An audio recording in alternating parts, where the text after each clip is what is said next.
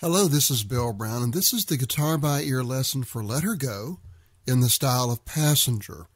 This particular recording I'm working off of, which is the most common recording, has two guitars on it, one with a capo, one without the capo. We will call the one with the capo guitar number one, and we will learn its part first. So you will need a capo, and you will need to put it on the seventh fret. Then I'll teach you that guitar part, and then we'll learn guitar part number two, which is an uncapo guitar, just playing the same chords, just down in first position. So grab your capo so that we can get tuned up. But first, let me play through the demonstration recording for you, and that way you'll have it to listen to and practice with. Then we'll get tuned up, and we will learn to play Let Her Go.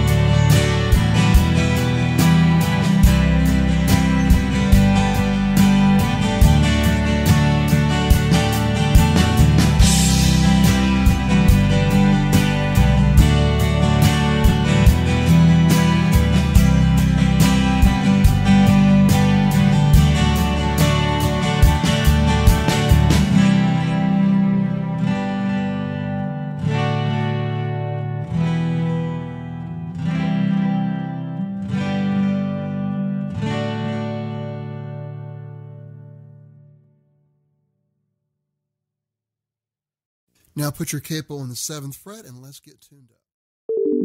We hope you enjoyed this preview. To continue listening to this audiobook on Google Play Books, use the link in the video description.